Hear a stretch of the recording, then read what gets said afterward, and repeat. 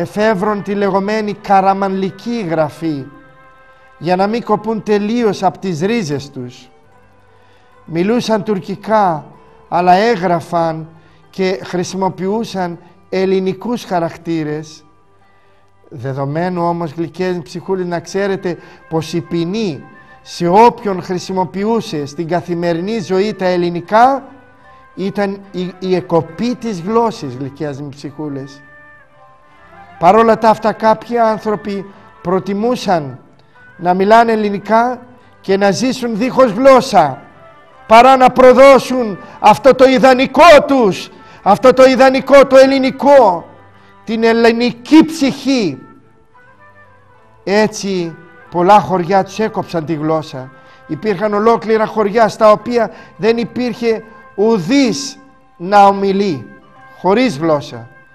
Και ως εκ τούτου ονομάστηκαν τα χωριά τα χωριά των αφώνων ή των αγλώσσων τους είχαν κόψει τη γλώσσα γλυκές ψυχούλες αυτά τα χρόνια μετά την κυριαρχία των Σελτζούκων σε αυτά τα χρόνια γλυκές ψυχούλες παρουσιάστηκε και το φαινόμενο των κρυπτοχριστιανών.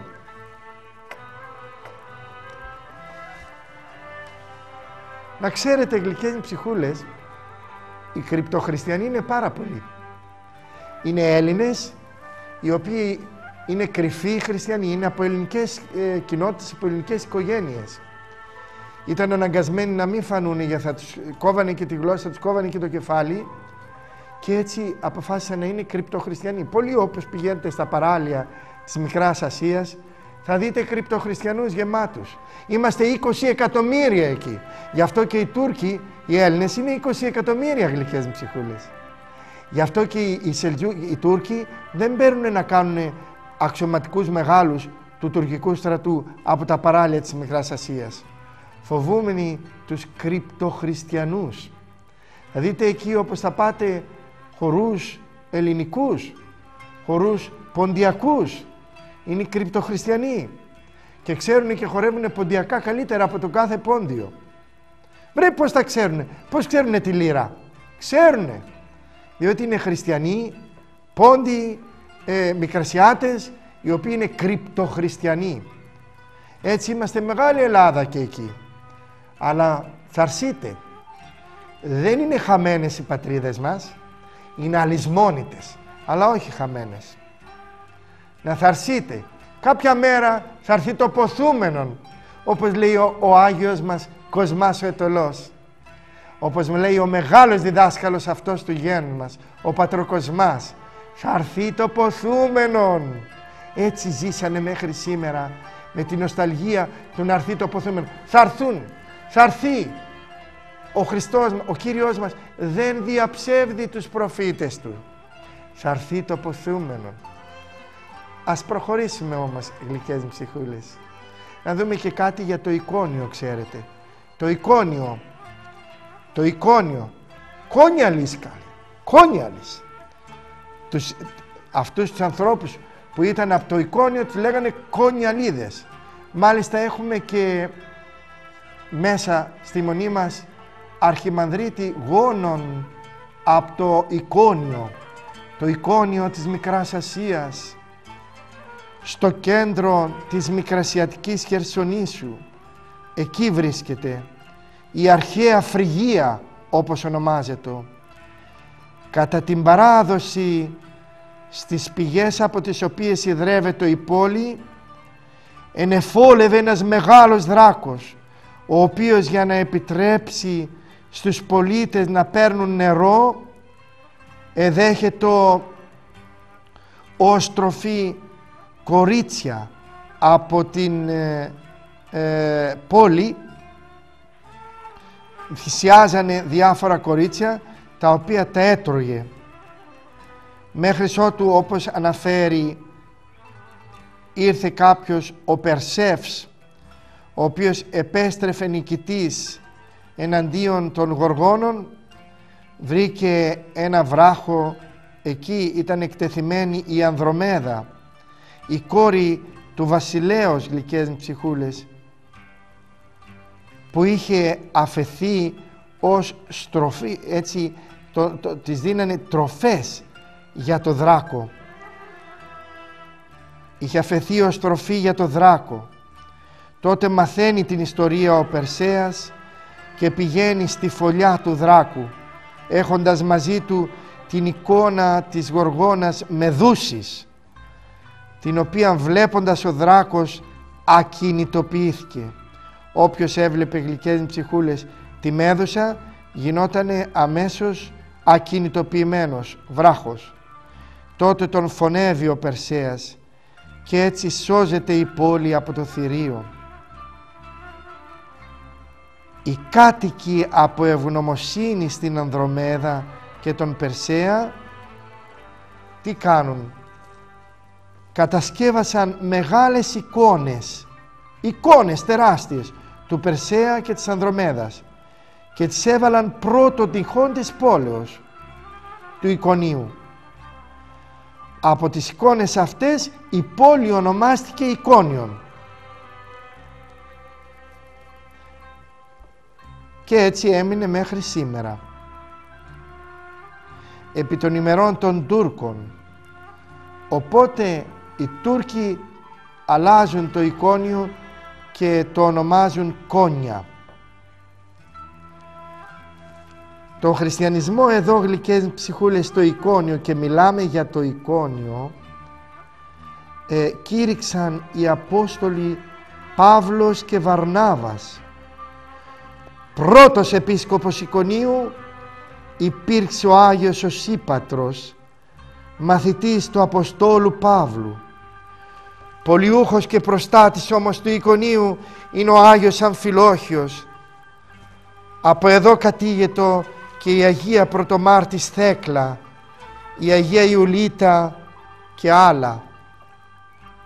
Ω Άγια Αμφιλόχιε, αξίωσέ μας να μιλήσουμε λίγο, να καταδεχθείς το ταπεινό στόμα ενός επισκόπου για να μπορέσει να μιλήσει για τη ζωή σου. Γλυκές μου ψυχούλες, η ζωή του Αγίου μας Αμφιλοχίου είναι θαυμαστή. Έχει δηλαδή συνταρακτικά γεγονότα μέσα στη ζωή του. Όμως προτού γίνει αρχιερεύς, άρχισε μοναχός. Αρχίζουμε μοναχοί, αρχίζουμε και τρίβουμε τη μύτη μας. Καλά καλά, ταπεινωνόμεθα, κάνοντας την υπακοή. Μία σχετική υπακοή, όμως βλέπει ο Θεός ότι εμείς κάνουμε την υπακοή μας και μας δίδει την Αγία Ταπείνωση. Δεν είμαστε τίποτα λέμε, είμαστε σκουπίδι. Ναι, ένα Άγιο σκουπίδι όμως, το οποίο υπηρετεί τον Θεόν. Ποιον; Αυτό το μήκος, το βάθος, το πλάτος, το ύψος, τον άπειρο, τον μεγαλωστή μεγάλο Θεό. Και το δέχεται αυτό το σκουπίδι ο Θεός, διότι είναι αφιερώ, αφιέρωμα δικό Του. Είναι ένα δαχτυλίδι κρεμασμένο στην εικόνα Του. Είναι αφιερωμένος ο άνθρωπος, ο οποίος θα δεχθεί αυτό, να δεχθεί, να αφιερωθεί στον Θεό. Δεν μπορούμε, βλέπετε, ο δρόμος ο δικός μας δεν έχει γυρισμό. Δεν γυρίζουμε προς τα πίσω. Μόνο μπροστά πηγαίνουμε. Γιατί δεν μπορούμε να κλέψουμε πάνω από την εικόνα του Χριστού μας και της γλυκιάς μας της Παναγιάς που αφιερωθήκαμε το, το αφιέρωμα που είναι ο εαυτός μας.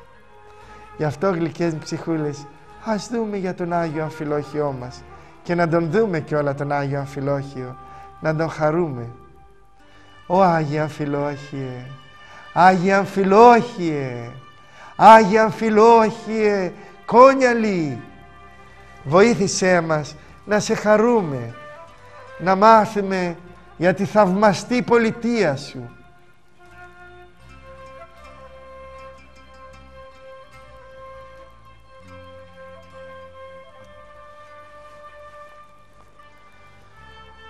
Ο Άγιος Αμφιλόχιος γεννήθηκε γλυκές μου ψυχούλες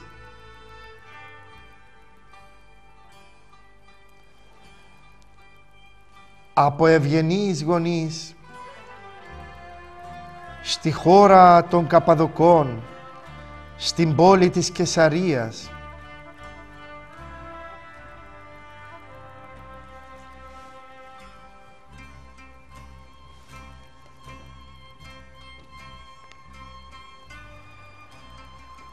Τον τέταρτο αιώνα έλαβε μεγάλη μόρφωση μαζί με το Μέγα Βασίλειο, μαζί με τον Άγιο Θεολόγο μας τον Γρηγόριο. Τι θαυμαστοί Άγιοι, είναι οι δύο από τους τρεις ιεράρχες. Ο Άγιος Ιωάννης μας ο Χρυσόστομος θα δούμε ότι δεν είναι στην ίδια εποχή. Για κάποιο χρονικό διάστημα στον πολιτικό του βίο εξίσκησε το επάγγελμα του δικηγόρου στην Κωνσταντινούπολη. Αλλά αποσύρθηκε νέος, απαρνήθηκε όλα τα εγκόσμια, προτιμήσα τον Χριστόν. Το Χριστό μας προτίμησε Άγια Αμφιλόχιε. Γι' αυτό και σου έδωσε τέτοια μεγάλη δόξα, τέτοιο μεγάλο αγιασμό.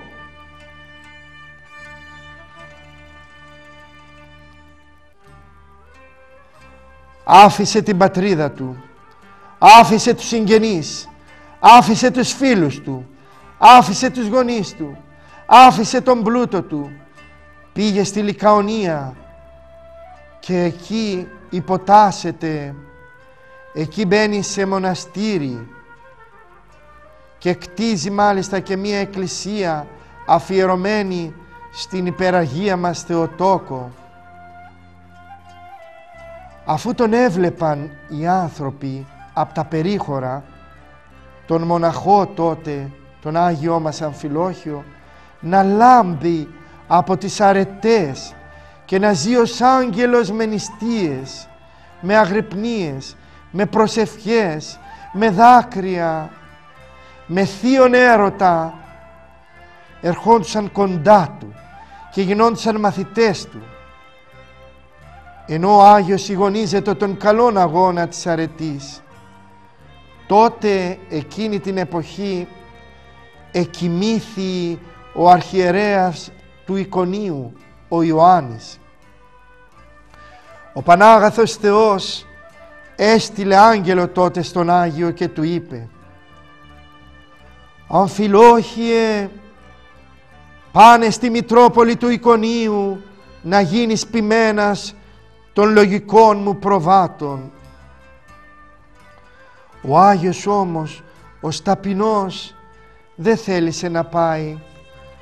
Θεωρών τον εαυτόν του ανάξιο για ένα τόσο μεγάλο αξίωμα του αρχιερέως.